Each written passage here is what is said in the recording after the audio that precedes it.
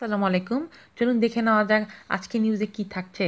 বিচ্ছেদের পর স্বামীর বেতনের পঁচিশ পার্সেন্ট পাবে স্ত্রী সন্তান। দেশের শীর্ষ আদালত এক রায় বিবাহ বিচ্ছেদের পর এক ব্যক্তির প্রাক্তন স্ত্রী ও সন্তান কত টাকা খোরপোশ বাবদ পাবে সেই টাকার অঙ্ক বরাদ্দ করে দিল। এখন থেকে স্বামীর বেতনের পঁচিশ শতাংশ বিচ্ছেদের পর পাবে তার প্রাক্তন স্ত্রী ও সন্তান। সুপ্রিম কোর্টের বিচারপতি আর ভানুমতি এবং এম এম সান্তানাগোদা সমস্ত পরিস্থিতি বিবেচনা করে এই রায় দিয়েছেন। আদালতের দাবি বিচ্ছেদের পর এক নারী যাতে তার সন্তানকে নিয়ে সম্মানজনক জীবনধারণ করতে পারেন, সে কথা ভেবে এই সিদ্ধান্ত গ্রহণ করা হয়েছে। পশ্চিমবঙ্গের হুগলি জেলার বাসিন্দা এক ব্যক্তির মাসিক বেতন ছিল পঁচানব্বই হাজার পাঁচশো সাতাশ টাকা।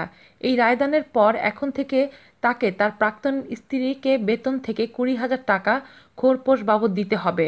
প্রসঙ্গত, হুগলির ওই ব্যক্তিকে তার প্রাক্তন স্ত্রীকে খোরপোশ বাবদ তেইশ হাজার টাকা করে প্রতি মাসে দিতে নির্দেশ দিয়েছিল কলকাতা হাইকোর্ট। এরপরই কলকাতা হাইকোর্টে সেই রায়কে চ্যালেঞ্জ জানিয়ে সুপ্রিম কোর্টে যান ওই ব্যক্তি। ওই ব্যক্তির আর্জি ছিল তিনি ফের পরিবার শুরু করেছেন। সেই নতুন পরিবারেও তার খরচ রয়েছে। সেই দিক খতিয়ে দেখে এই টাকার অঙ্কের পরিমাণ কিছুটা কমানোর আবেদন জানিয়ে অপর একটি মামলা দায়ের করেন শীর্ষ আদালতে। সেই মামলার প্রেক্ষিতে এই রায় দিয়েছে দেশের শীর্ষ আদালত। আজ এই পর্যন্তই সবাই ভালো থাকবেন আর আমাদের চ্যানেলটি অবশ্যই সাবস্ক্রাইব করুন। আল্লাহ হাফেজ।